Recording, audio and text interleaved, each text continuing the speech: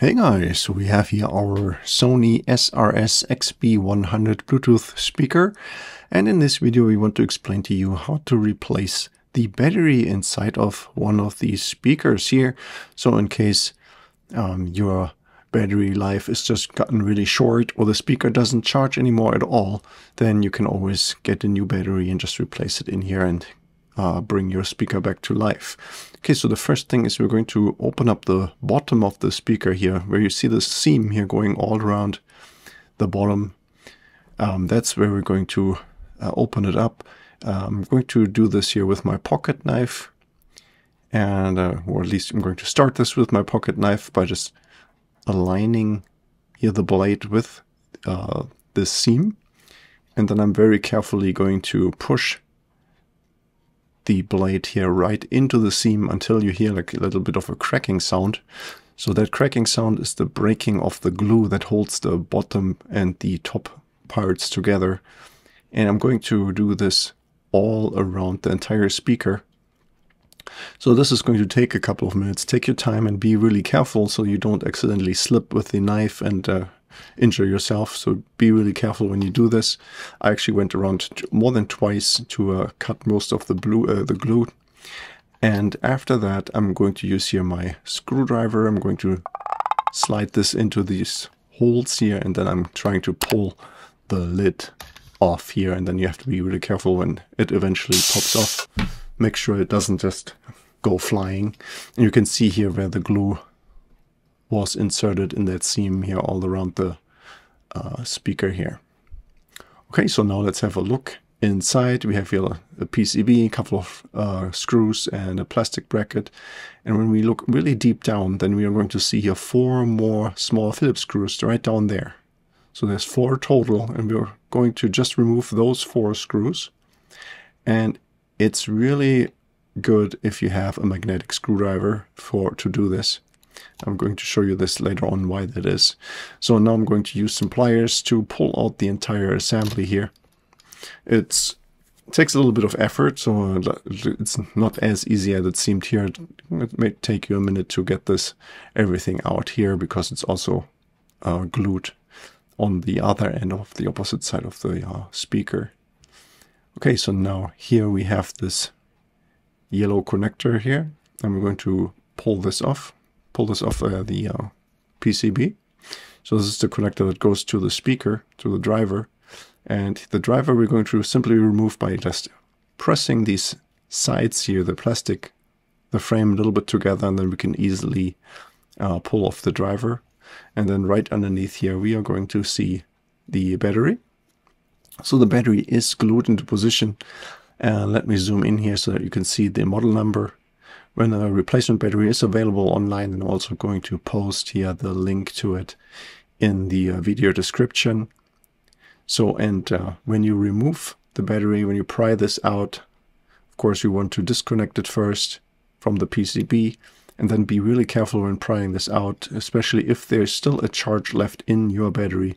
It's best to do this when the battery is completely discharged and doesn't want to charge at all because um, prying these out here is very difficult. You're usually damaging the uh, battery to a point here where it's actually um, in danger of catching fire. So when you, after you pulled out the old battery, which is here glued to the plastic frame behind it, um, then there is a chance that it will catch fire. So make sure you um, dispose of it and uh, like make sure you don't store it, keep storing it in your house. Okay, so then you just have to glue in your new battery right into the same spot. Make sure the wiring here, the cables are in the same orientation, in the same position, so that we can reconnect the battery here with the uh, connector to on the on the PCB with that port. Plug that in, and then uh, route the uh, cables here through that little slot. Then when we uh, reattach the driver here, the speaker, we have to align this uh, in the same way as we took it out. So you have these three uh, slots. Just you have to have the uh, cable in the right orientation. You can hook two of these hooks. One hook you can easily hook in and then the other side, the hook on the other side, you're just going to press on the plastic frame a little bit and then that will also uh, slide in and that will keep the driver in position. Of course, don't forget to uh, also plug this in here into the uh, into the PCB. See that goes right underneath there, right next to the connector for the battery.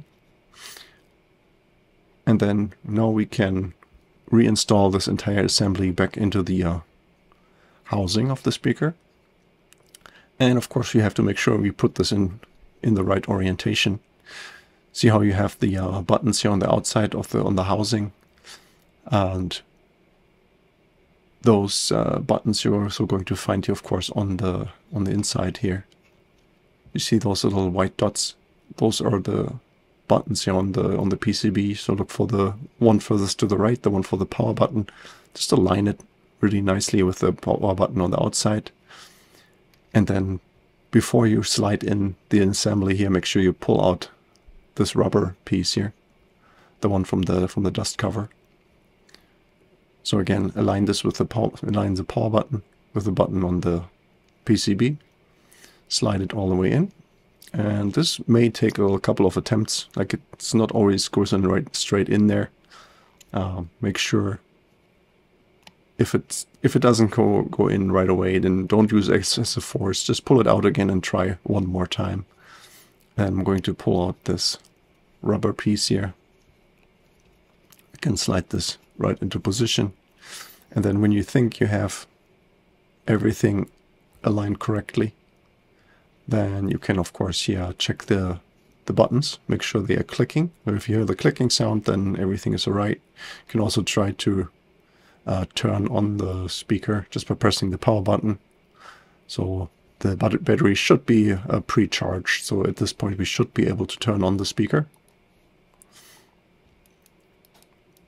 See now my buttons are working here and also the speaker turns right back on. So everything seems to be alright. And then the last step of course is to uh, bring the uh, four small Phillips screws back in and that's why you need the uh, magnetic screwdriver. So it's I think I think it's pretty much impossible to uh, bring those uh, four Phillips screws all the way down there and screw them in if you don't have a magnetic screwdriver. It will take you a lot longer. Now the last step is to put the uh, lid back on here.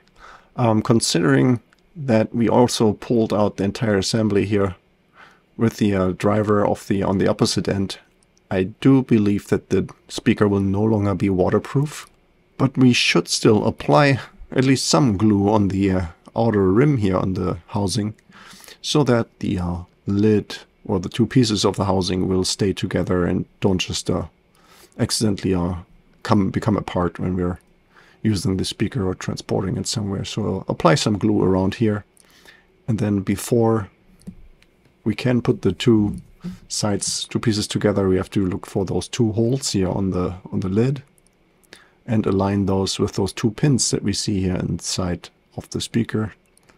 Align those right there and then we can press both pieces together and then of course let the glue harden.